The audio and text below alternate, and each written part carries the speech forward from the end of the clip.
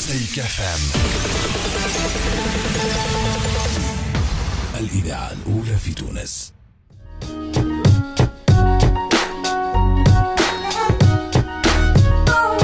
سلام. أهلا بتونس. شنيا احوالك ولا مش لازم نعرف نعرف. أنا لاباس. كيفك أنت بالضبط؟ اش باش نحكي لك؟ هاني نتبع في حالك وحال كباراتك اللي ولاو خطان. متوازيان لا يلتقيان هما زاده فما ثلاثة تصاور تشوفهم لازمك تشوفهم في جرايد اليوم. أولهم الصباح. هاي قاتلك أرقام مفزعة وصور صادمة. كورونا تفتك بالجهات ومخاوف من أخطر السيناريوهات. وحتى تصاور من باجة. فيهم المرضى قاعدين قدام السبيطار. حاطين لهم الأكسجين غادي في الشارع. ريتوهم. ها وين وصلنا في تلك الأثناء شد عندك. حكومة سياسية أو انتخابات تشريعية ورئاسية مبكرة. النهضة تصعد قلب تونس لا يمانع وتحيا تونس لا تراه الحل. بربي يقول ومشروع تونس شنو رايو زعما خرج بيان آفاق تونس؟ لا يلزمنا نعرفه زعما الحكومة سياسية ولا تكنوقراطية؟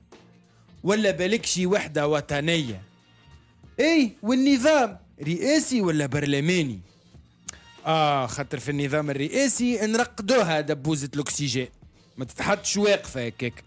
هذاك في النظام البرمائي المتحور. نزيدك. بعد خلافه مع الاتحاد وقطيعته مع الأحزاب والبرلمان والحكومة. هل عزل قيس سعيد نفسه؟ يا لطيف يا لطيف. باي توا هكا. الرئيس عزل روحه. يا ولادي طلوا عليه. يمشيش يدبرم يمشيش يعمل في روحه سبة. الراجل وصل يشوف لطفي زيتون في التلفزة يعيط له للقصر يعمل معاه قهوة. تلمون ضربوا القلق يا أخي مش فما رقم أخضر للإحاطة النفسية في زمن الكورونا؟ ما عملوه عمناول وقت الفخفاخ يقولوا له يطلبوا. مش عيب راهو اللجوء للمختصين. راهو الاكتئاب مرض خطير. وإحنا ماناش ناقصين آه، أمراض يعني. المغرب مثلا ترى أنها النهاية نهاية منظومة 2019 بكل مكوناتها حرب الكل ضد الكل. إدارة الجائحة والتحكم في الحالة الوبائية حكومة العجز والفشل. الكورونا تحصد أرواح أكثر من 14 ألف شخص وما زالت.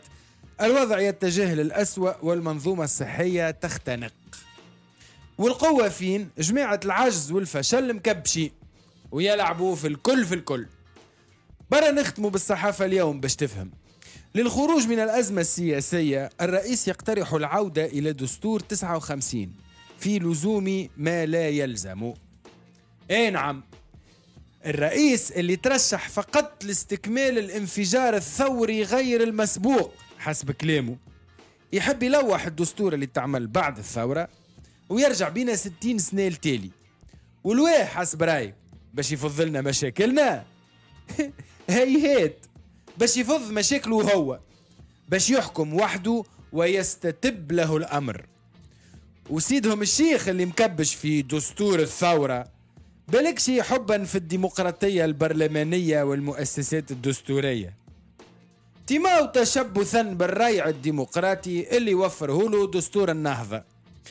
إحنا مشاكلنا لازم نفضوها وحدنا. وأول مشاكلنا هما هما أي هما. اش قولك نفضوهم قبل ما يفضونا؟